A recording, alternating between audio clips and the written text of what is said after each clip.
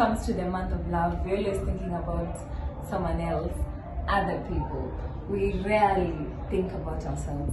I decided, in collaboration with WBT Creative, to go on a lovely photo shoot, and this is how it went down.